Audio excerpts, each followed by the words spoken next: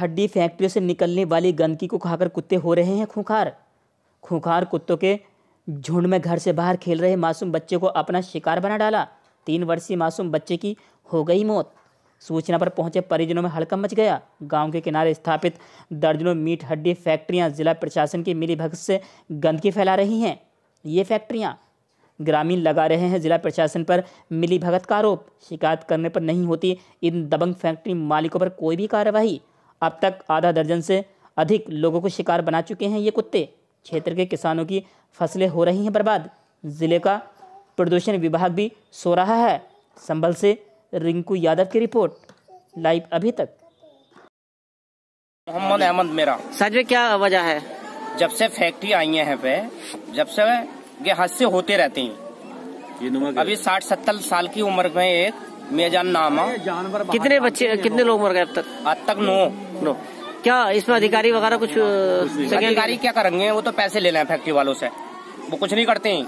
हमारी सुनवाई भी नहीं हो रही। अगर हम ज़्यादा बोलते हैं तो हमारी ऐसी तैसी मरवा देते हैं फैक्ट्री वाले भी। हम ज़्यादा बोल जाते हैं तो ऐसी तैसी मरवा देते हैं फैक्ट्री वाले हमारी। ठीक। हाँ। मेरा हाजी मोहम्मद अहमद।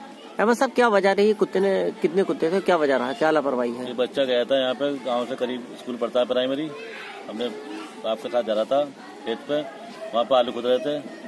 तो वहाँ पे तो बाप तो निकल के आ गए। वो भूल गए लड़के को। लड़का वहीं पे रह गया स्कूल के पास में ही। तो कुत्ते आए करीब दस पंद्रह कुत्ते आए, बीस। उसको जो गेहूँ खेत में खेत के ले गए।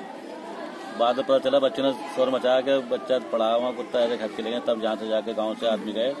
कुत्ते भगाए, तब लड़के को वापस घर पर लेकर आए।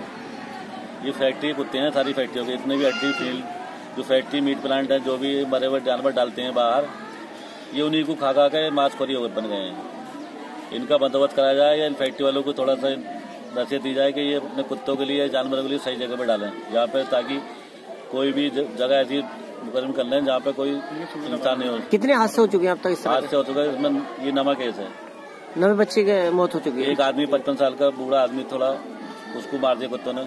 इसकी खामियाँ मानते हैं इसकी खामियाँ मानते हैं फैक्ट्री वालों की खामियाँ मानते हैं जो फैक्ट्री लगा रखी है कुत्ता उससे पहले- है। कुत्ते नहीं हमारे यहाँ, दो चार कुत्ते। नहीं आज हज़ारों कुत्ता है